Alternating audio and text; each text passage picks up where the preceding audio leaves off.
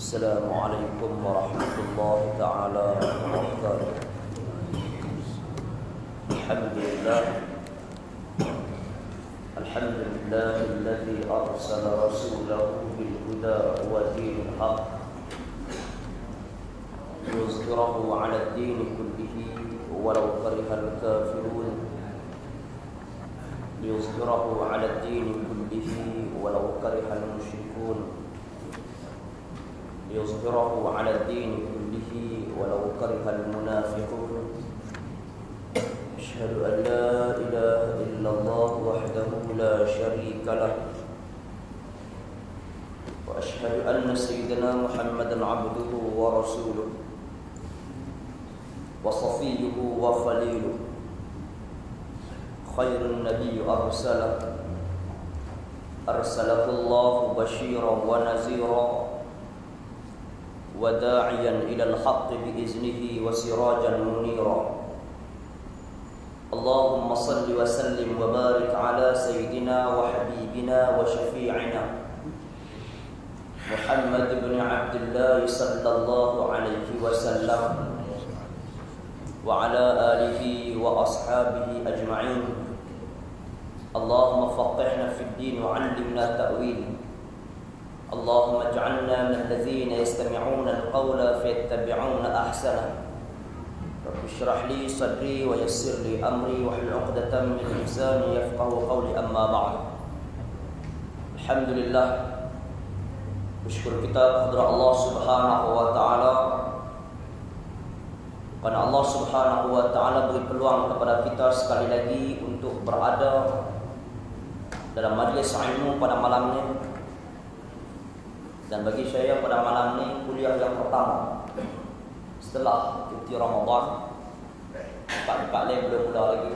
Semua mula bulan 9 Alhamdulillah tahniah kepada masjid Alama Taiping ni.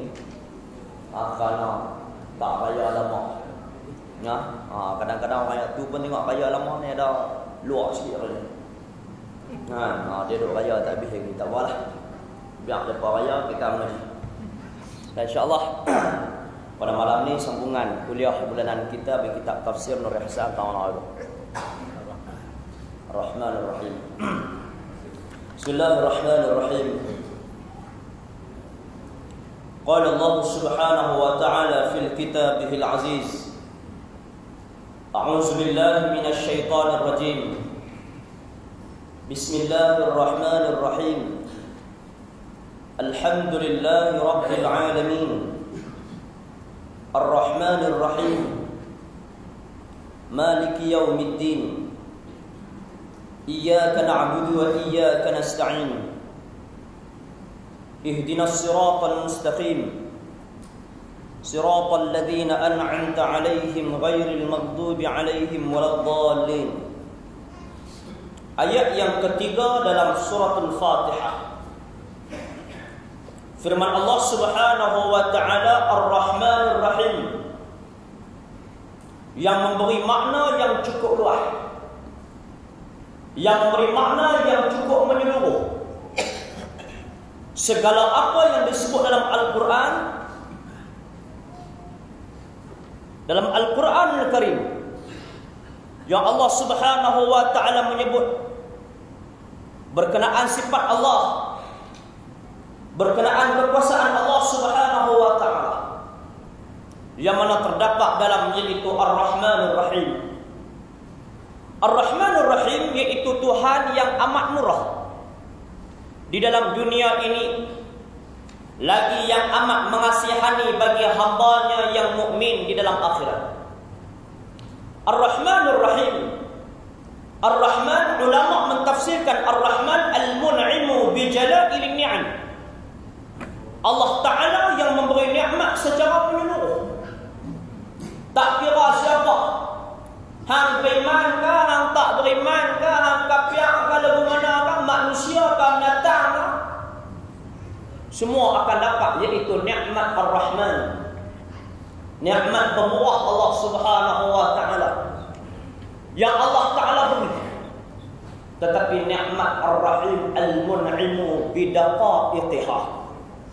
Al-Mun'imu bidaqaiqiha iaitu Allah Taala memberi nikmat yang mana yang secara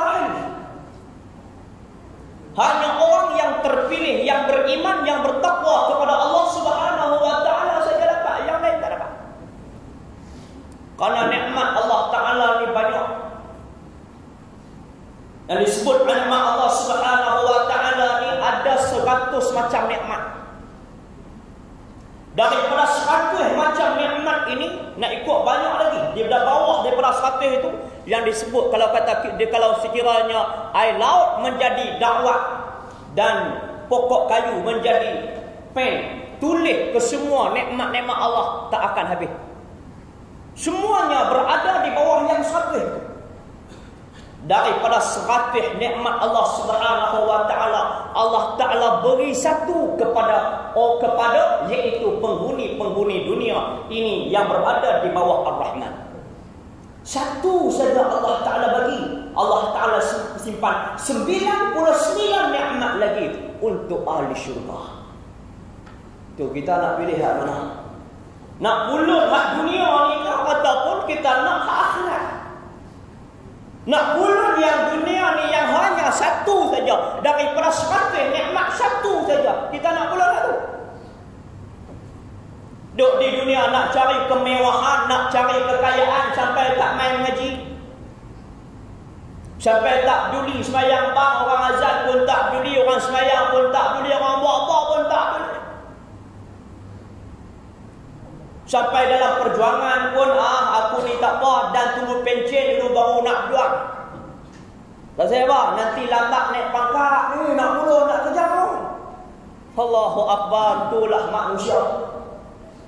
Yang mana Nabi pernah yang Nabi pernah sebut manusia ni kalau dia mempunyai iaitu satu gunung daripada mak dia akan nak pula nak cari nak ambil gunung yang kedua. Tak akan cukup. Nah, Bini seorang tak apa, boleh tahan lagi. Tok guru saya pesan.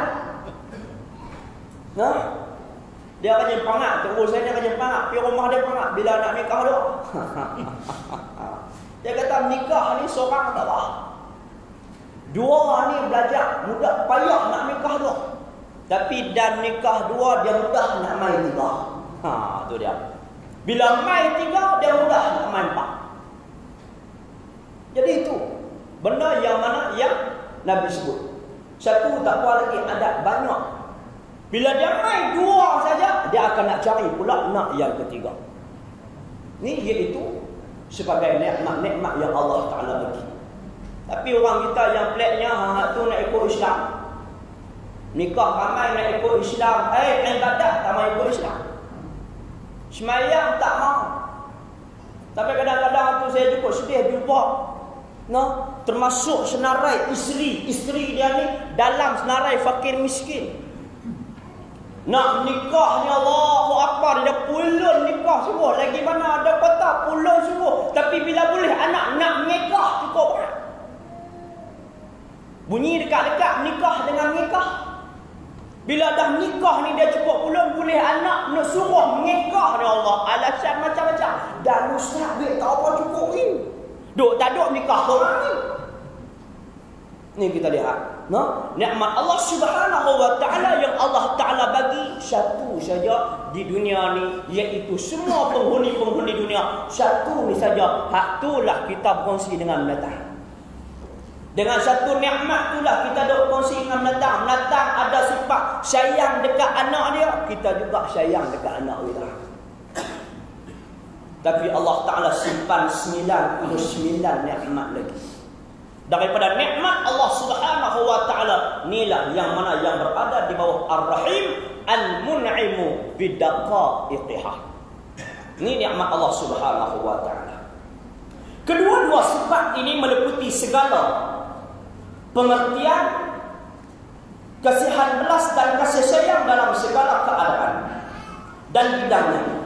Ini diulangi sekali lagi dalam tengah-tengah ayat untuk menunjukkan lagi ciri yang jelas dari konsep rububiyah Allah Subhanahu wa taala.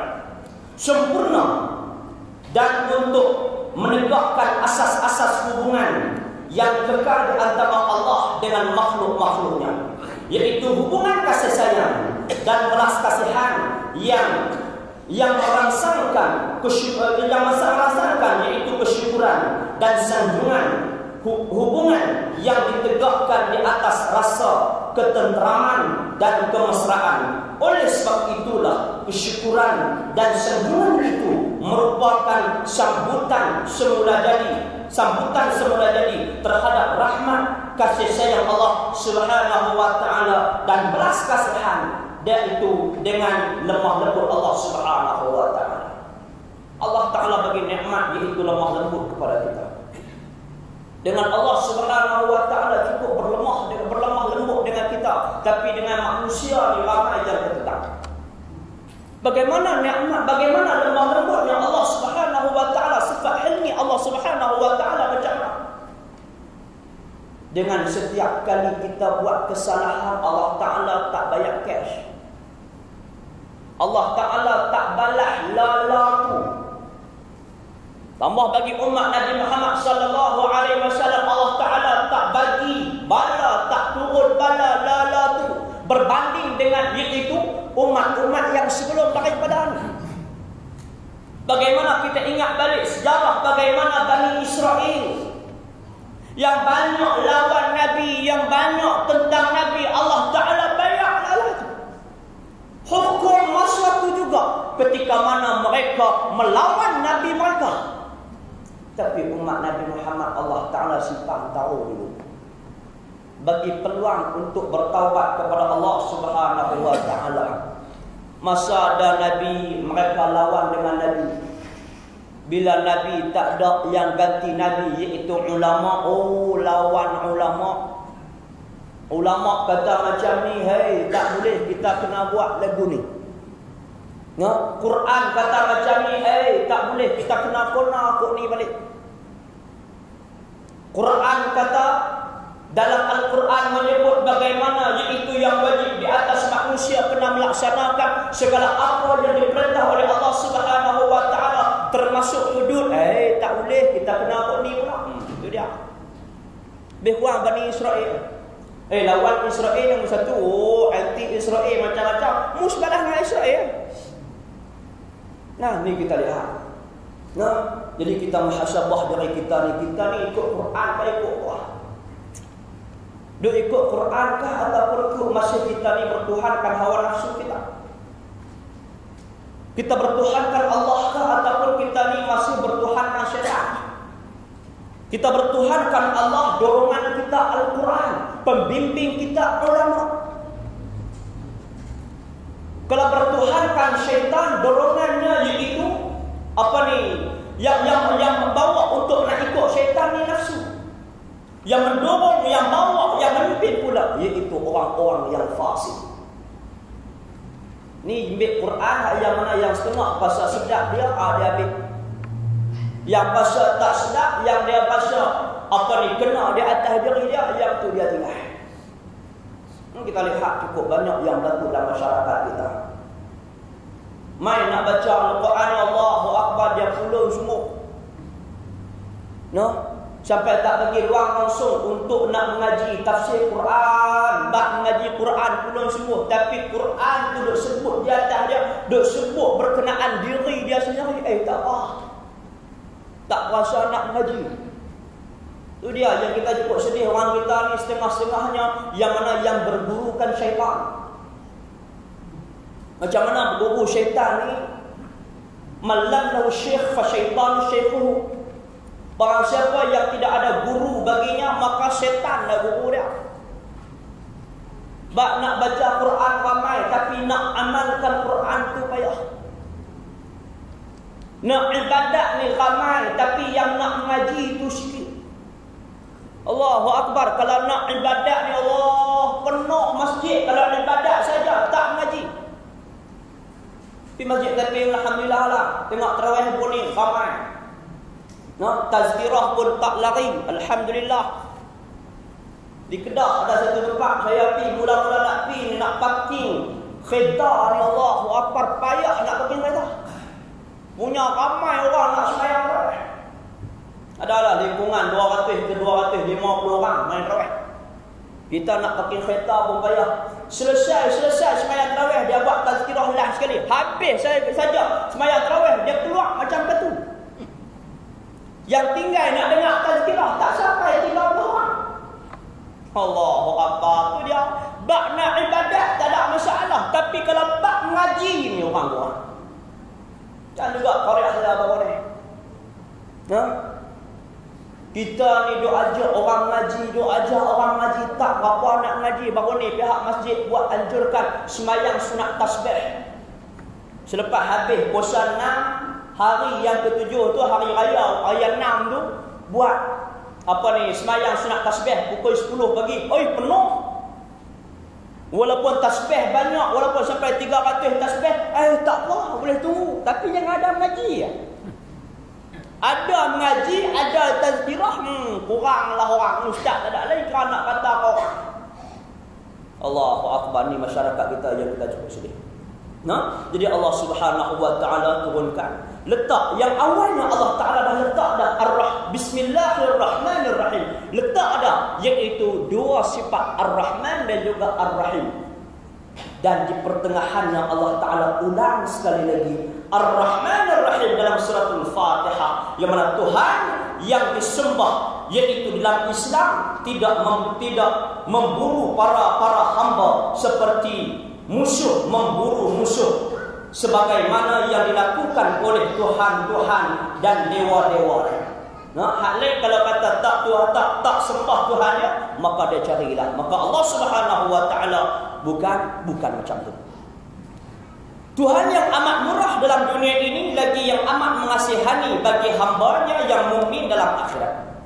Maliki yaumiddin. Maliki yaumiddin Tuhan Allah Subhanahu wa taala yang memiliki hari balasan yaitu hari kiamat kerana tiada milik padanya melainkan Allah Subhanahu wa taala semata-mata. Dan adapun pada dunia ini maka zahir Rak zahirnya ada memiliki raja-raja Maka pada hakikatnya Tiada yang memiliki dunia dan akhirat Malaikat Allah subhanahu wa ta'ala Semata-mata ini sebut dalam, dalam tafsir Nurul Ihsan ini Nah, Maliki Yaumiddin Allah Subhanahu wa taala sebagai memiliki sebagai kerajaan di hari balasan yaitu hari kiamat. Tak ada kerajaan dah di hari kiamat melainkan yang ada kerajaan yaitu kerajaan Allah Subhanahu wa taala. Yaitu hari kiamat kerana tiada milik, tiada kerajaan padanya melainkan Allah Subhanahu wa taala semata-mata. Adapun pada dunia ini maka padanya maka pada zahir ada memiliki raja-raja, ada kerajaan maka pada hakikatnya tiada kerajaan di dunia ini dan akhirat melainkan Allah Subhanahu wa taala semata-mata. Karena dunia ini kerajaan yang ada di dunia ini yaitu sebagai amanah Allah Subhanahu wa taala. Bukan sebagai amanah makhluk. Bukan sekadar kita kata bila dah mai pilihan raya kakak-kakak bangkah dia ni naik jadi menteri. Dia adalah amanah kepada makhluk, kepada manusia, kepada rakyat. Bukan sekali itu. Tapi ia adalah amanah Allah subhanahu wa ta'ala. Karena kerajaan Allah subhanahu wa ta'ala diberi amanah kepada manusia. Supaya untuk mentakdir dunia ini dengan kerajaan yang diamanahkan oleh Allah subhanahu wa ta'ala. Sebab itu kata Imam Al-Mawardi. Rahimahullah ta'ala yang hidup pada zaman iaitu era pemerintahan Abbasiyah. Katanya Imam Al-Mawardi rahimahullah taala, sengsara satu kaum apabila melantik orang yang jahil menjadi pemimpin di kalangan mereka. Sengsara satu kaum itu apabila melantik orang jahil menjadi pemerintah mereka, menjadi pemimpin mereka. Buka dalam kitab Ahkamus Sultaniyah yang dikarang oleh Imam Al-Mawardi rahimahullahu taala akan menjadi sengsara, akan menjadi penderitaan apabila iaitu satu-satu tempat, satu-satu kerajaan yang dipilih pemimpinnya di kalangan orang yang jahil di kalangan agama. Pasal itu diputar belikkan politik dan sebagainya. Sampai hari ini dalam keadaan orang kita tak sedar. Kerajaan yang mana yang saya bawa tazkirah dalam tazkirah Ramadan baru-baru ini. Setelah daripada kerajaan zaman Nabi sallallahu alaihi wasallam yang Nabi tegak iaitu kerajaan daulah Islamiyah diikuti dengan dengan iaitu era pemerintahan Khulafa ar-Rasyidin diikuti oleh pemerintahan Al-Umawi diikuti oleh pemerintahan Abbasiyah diakhiri dengan pemerintahan Uthmaniyah setelah daripada itu yang mana kita lihat bagaimana Yahudi ambil kesempatan apabila jatuhnya daulah Islamiyah mereka ambil sedikit demi sedikit sedikit demi sedikit pusat pentadbiran yang pernah ditadbir oleh Islam.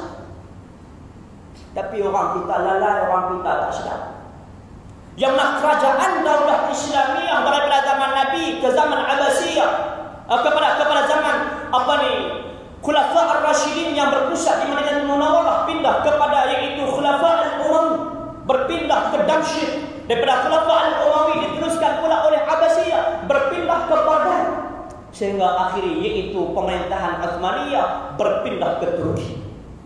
Turki dijatuhkan oleh orang yang mana yang agama Islam sendiri iaitu Mustafa Kamal Atatürk dan akhirnya memperkenalkan Turki sebagai negara sekular. Mereka dapat kuasai dan seterusnya mereka kuasai pula iaitu selepas daripada Turki mereka cuba nak ambil Iraq dan mereka berjaya. Amerika dah berjaya ambil Iraq, tawan Iraq sehingga jatuhnya kerajaan Saddam Hussein. Dan seterusnya, destinasi seterusnya mereka cuba nak kuasai pula Damsyik yang mana pada hari ini yang belum kita nampak bagaimana bagaimana penghujung iaitu peperangan yang berlaku di Namsyid yang berlaku di Syria pada hari ini. Kezaliman yang dilakukan oleh rejim Bashar al-Assad. Yang mana yang cukup teruk pada hari ini. Ramadan Ramadan ini ramai. Sahabat-sahabat saya yang belajar di sana pekat balik mereka cerita Allah Akbar Ustaz kami cukup derita di sana. Masa saya sana belajar di sana dulu pun Allah Akbar rasa teruk lah Nah, tak bebas kita nak kita nak mengaji, tak bebas nak usrah lagi lah. Pernah kami berusrah nak buat usrah saja ni. Usrah di kalangan pelajar kita untuk menguatkan semangat kita dalam menuntut ilmu dalam berjuang menegakkan agama Allah Subhanahu wa taala. Terpaksa kena sewa van jalan 5 jam perjalanan, 5 jam pi, 5 jam balik. Pasal apa? Semata-mata nak buat usrah. Malaysia kita buat api tak mana masjid orang tak marah. Ha, tu di sana. Bagaimana penindasan penindasan rejim apa bagaimana penindasan penindasan kerajaan Bashar al-Assad. Sampai hari ini Ramadan baru ni rejim Bashar al-Assad yang mana dia catur elektrik. Karen di Syria tak ada.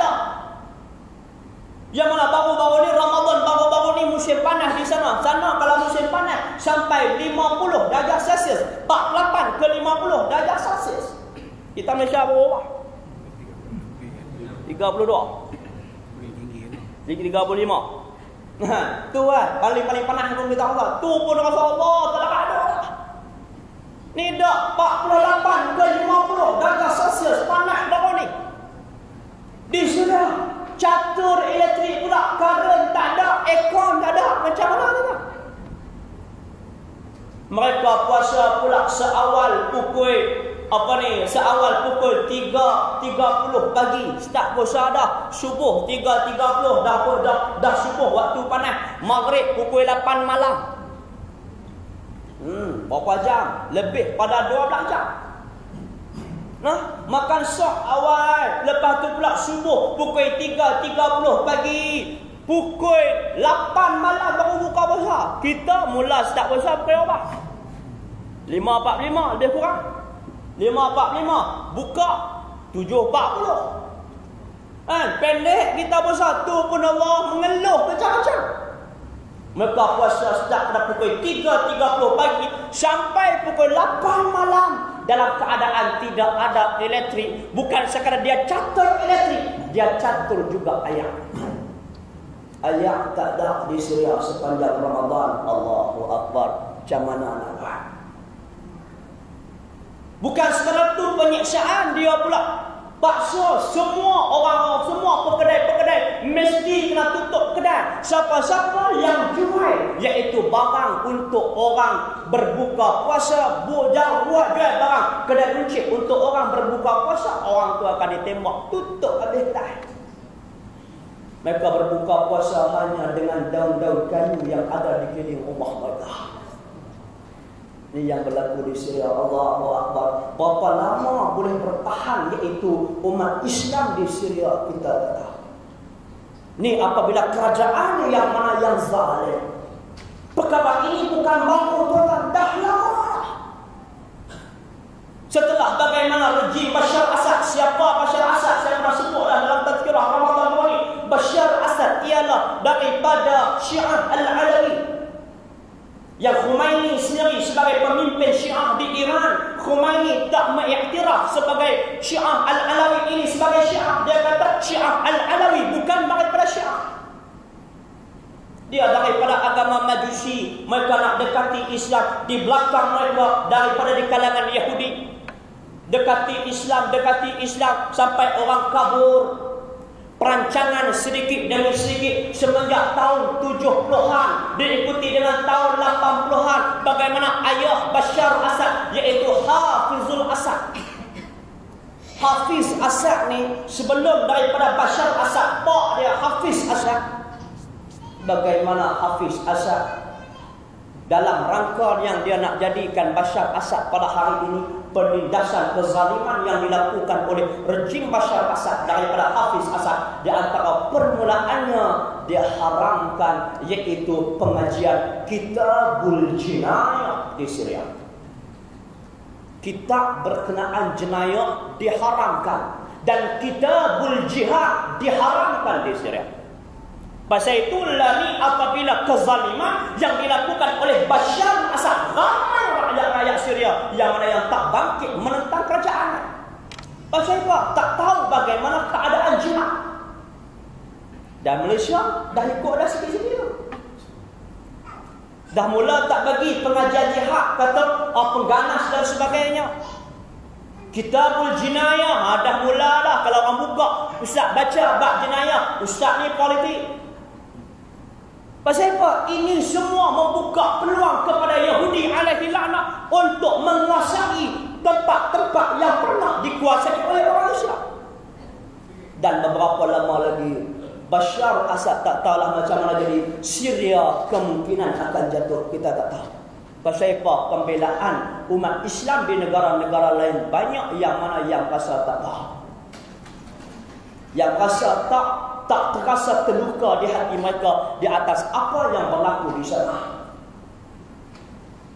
Seterusnya kita lihat setelah mereka dapat kuasai iaitu Syria. Dapat kuasai Damsyik. Destinasi seterusnya mereka cuba pula untuk menguasai Madinatul Munawwarah. Ini adalah perancangan Yahudi.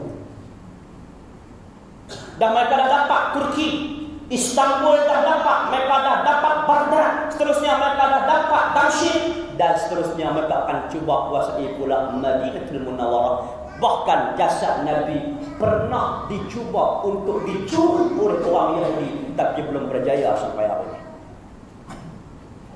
Kalau pula kita kata Yahudi masuk ke masuk ke Madinatul Munawwarah, serang di Madinatul Munawwarah, kuasai Madinatul Munawwarah, apa perasaan umat Islam seluruh dunia. Tak payah sebut negara-negara. Sebut Malaysia saja. Apa perasaan umat Islam di Malaysia? Kalau Yahudi masuk Madinah, apa perasaan umat Islam di Malaysia? Nah, yakinlah mereka di sana sedangkan aku di sini boleh hidup senang, negara aman, maju dan sebagainya. Allahu Akbar kita cukup usaha. Pasal itu kita kena perkukuhkan jemaah kita. Dan insya Allah kita sekarang tengah melangkah setapak demi setapak untuk menuju ke Putrajaya. Sekiranya kita menguasai Putrajaya, apakah tindakan kita, apa yang kita nak? Apa yang kita nak laksanakan sekiranya jemaah kita tak cukup. Sekiranya ahli jemaah kita, penyokong-penyokong kita, petugas-petugas kita masih lalai, masih lega dan terbiah belum mantap. Apakah bagaimana apa yang berlaku di masa hadapan? Masya Allah persediaan kita nak menuju ke sana. Persediaan kita mesti mantap. Usrah mesti kita kena jalankan semula. Tamrin mesti kita kena laksanakan semula. Liqat fikri mesti kita kena buat cukup kerap. Supaya barulah kita akan mendapat iaitu melaksanakan. Sebab kita fikir. Bila kita menuju ke sana, bukan jawatan yang kita nak. Bukan kuasa yang kita nak. Bukan harta yang kita nak. Bukan duit yang kita nak. Bukan kemewahan yang kita nak. Bukan keseronokan yang kita nak. Tapi kita nak ingat bahawasanya bila kita dapat menguasai di sana satu amanah yang dipertanggungjawabkan kepada kita, kita ingat Maliki Yaumiddin Allah Subhanahu wa taala yang memiliki hari balasan menjadi kerajaan di hari balasan, kerajaan yang ada pada hari ini, kerajaan di dunia ini sebagai satu amanah Allah Subhanahu wa taala bila kita melaksanakan, bila kita memerintah ada musuh-musuh Allah Subhanahu wa taala yang cuba usaha untuk menjatuhkan kerajaan kita.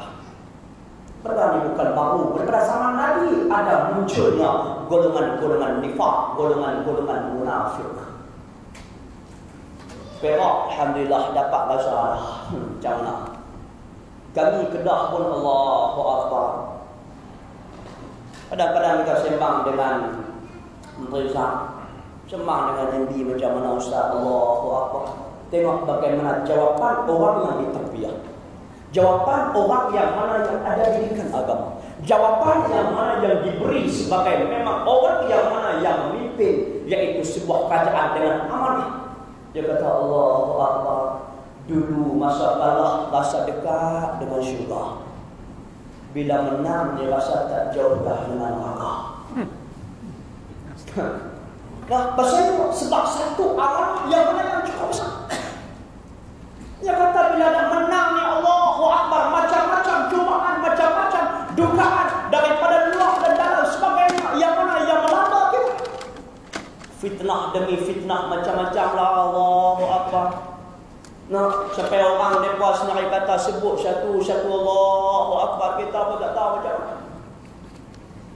Terlihat bagaimana itu, bagaimana yang dilakukan. Cuba kita buat seperti apa yang disebut oleh Nabi Sallallahu Alaihi Wasallam. Apabila kita puasa, bukannya kroni diutamakan. Bukannya wang ringgit kita utamakan, bukannya harta, bukannya kedudukan, bukannya pangkat yang kita nak. Tetapi yang kita nak iaitu amanah Allah Subhanahu wa taala yang Allah taala amanahkan kepada kita sebagai tanggungjawab kita mesti kita kena laksanakan. Orang nak kacau ni biasalah. No, kita kena ingat apa yang Nabi buat, apa yang Nabi suruh kita laksanakan setelah telah kita menguasai iaitu iqamatid din wa siyasatud dunya. Tegakkan agama ini.